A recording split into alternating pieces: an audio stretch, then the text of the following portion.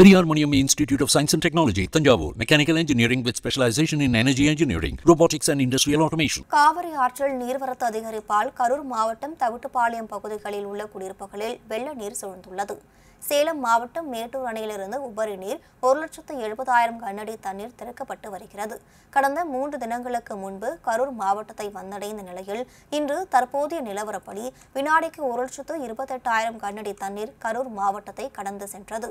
காவிரி ஆற்றை ஒட்டிய தவிட்டுப்பாளையம் கிராமத்தில் தாழ்வாக உள்ள ஒரு சில குடியிருப்புகளில் வெள்ள நீர் சூழ்ந்துள்ளதால் அவர்களை வருவாய்த்துறை அதிகாரிகள் வீட்டை விட்டு வெளியேற்றி அருகில் உள்ள சமுதாய கூடங்களில் தங்க வைத்துள்ளனர்.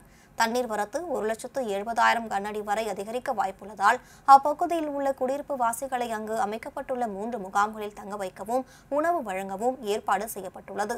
புகழூரில் காவிரி ஆற்றின் குறுக்கே சுமார் நானூறு கோடி ரூபாய் மதிப்பீட்டில் கட்டப்பட்டு வரும் தடுப்பணை பணிகள் பாதிக்க பாதிக்கப்பட்டுள்ளன கட்டுமான பயன்பாட்டிற்கு பயன்படுத்தும் பொக்லைன் இயந்திரங்கள் உள்ளிட்ட தளவாடங்களை பாதுகாப்பாக கரையில் ஏற்றி வைத்துள்ளனர்.